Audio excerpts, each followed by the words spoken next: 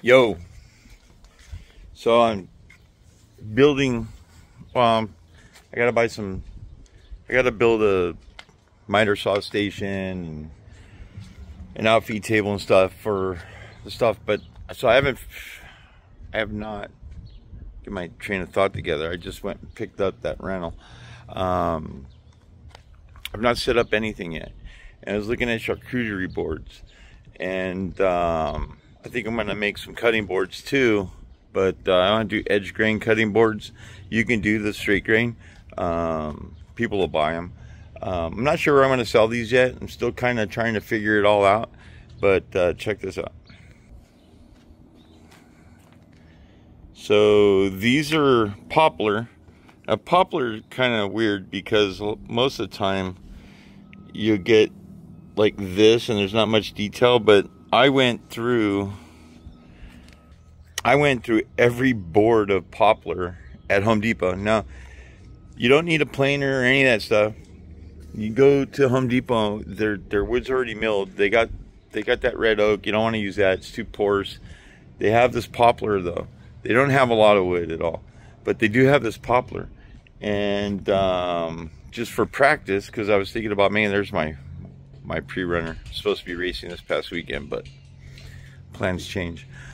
So anyways, um, after going through after going through their their wood, I found some poplar with some nice detail. That was the first one I made. The handle's kind of wonky, but it's all right. And then I made that one, and then I made this one. There's two holes right here because uh, there's gonna be some serving handles right there. But I literally made I made these three with that. That is it. I have a sander, I have a jigsaw, and I have a, um, a flush trim router. Um, you don't even need a router. You could you could bevel these edges with your sander. Um, I went on Etsy and I went and checked out uh, OfferUp in my area, and there are a ton of people selling these things and then you go into their account and you look 300 sales sold 300 you know the little thing sold 300 sold 150 sold 400 um, a lot of them are able to personalize them you know to put people's names on them and stuff. Um, i don't know if that's a particular selling point. Uh, i think it might be. Um, my wife yesterday had uh, they sell eggs. Uh, we have a bunch of chickens and my wife sells eggs and crafts and whatnot and we put those out. She took some pictures and put them on Instagram, and we already got a couple people that hit us up for orders. And um, so that's pretty cool. Let me show you guys what I did. Um, you got all these fancy woodworker YouTuber dudes that are, you know, they got these big shops. And I'm going to build a shop. We're going to build a shop right over there in my garage. Uh, I used to have a shop when we lived uh, in Covina a long time ago. I used to refinish furniture. But um, I made these three, and basically all I did, I don't know if you guys can see, I have these these pieces. I have two blanks. I have two blanks for some small ones on some end cuts. You can see right there where I just traced out a design. Um, made a handle. On the handles, you can go buy you know, some of the guys on YouTube and whatnot have uh, handles and stuff, patterns for sale. But uh, but I literally just made, let me, coffee. I literally just uh, made a handle, drew it out on cardboard, just walking over here, drew it out on cardboard and um, and cut it out with scissors. Uh, I smoke still, probably shouldn't do that. But uh, drew it out on cardboard and then cut it out and I created uh, a handle template um, that I'll eventually um, trace onto some MDF so I can make a do the use the flush cut router to uh, to flush those up a little bit better, make them look a little nicer. But I don't think people care. I think at the end of the day, rustic is good.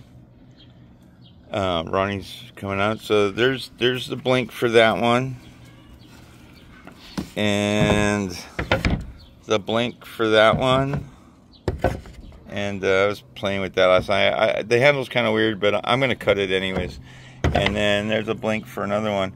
The cool thing about this board, my mother-in-law pointed out yesterday, was, uh, there's my dog, was that you could stick a bowl for dip right here. I didn't even think of that. She was like, oh yeah, you get, I like this one because she thought I did it on purpose, but I, I didn't. I just, I just did it like this because it was the handle. And she sticks a bowl over here and they go, I like, uh, I like what you did. I was like, yeah, yeah, yeah. Sure, I meant to do that. Anyways, um, I'm not going to go through, maybe later I'll go through a video how, how I made these, but just, just so you could get going right away before I make a video. Um, I took the plant, the blanks, I traced out the boards how I want them and uh, you guys get it. You're not dumb. You just cut out with your jigsaw or band saw if you have one. You just cut them out, sand the edges. Um, I go through 80 grit, then 120, 220, and then after the 220, I pop the grain. And what you mean by pop the grain is when the boards get wet after they're sanded, the grain fibers will will raise up and the board won't be smooth anymore. After the three, after the 220, that board's going to feel really smooth. Um, but when it gets wet, even after you put the finish on, that grain's going to pop up and it's going to feel like sandpaper. So you want to just spritz them with water. If you have a spray bottle, I used my wife's spray bottle in the bathroom. Don't say nothing.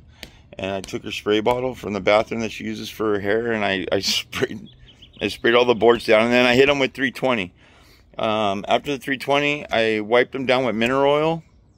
They're not cutting boards, so you don't have to soak them. A lot of guys will soak cutting boards um, before they put on the beeswax.